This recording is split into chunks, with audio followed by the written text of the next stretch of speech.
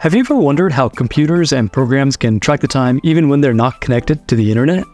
Tracking time sounds fairly simple, but there's actually a full stack of components needed to make this possible. On Linux machines, programs retrieve the time by making a system call known as clock get time. This function can access a variety of different system clocks, with clock real time providing the most current time. The value of clock real time comes from a special hardware chip known as the RTC, or real time clock.